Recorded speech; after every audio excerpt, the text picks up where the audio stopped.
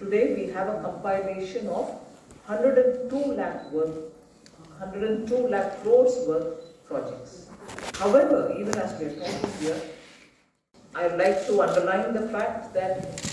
keeping in line with the government's priorities, keeping in line with the flagship schemes of the government,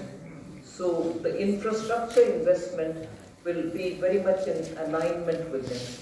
So power, railways, power including renewable sector, urban and urban, uh, urban areas development, irrigation, mobility, education, health, water and digital sectors form the bulk of the pipeline that we are announcing today. I repeat, power, railways,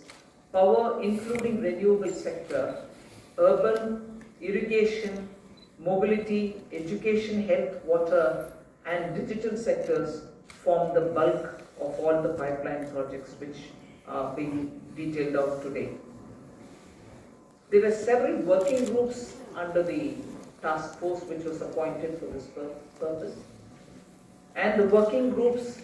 in each of the areas other than identifying projects have also suggested a lot of reform related steps which will go together with this. Otherwise announcing just the pipeline with a lot more difficulties here and there without steps taken to reform those will not really ease the process. Because ultimately all these are done with an intention of making ease of living for the citizen and ease of doing business for the businesses.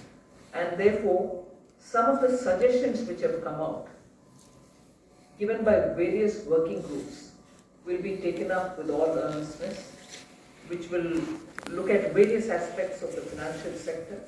whether it is looking at the bond markets or innovative vehicles like the alternative investment funds, and also instruments like InvITs, which will provide bulk of the debt financing which is necessary for all this purpose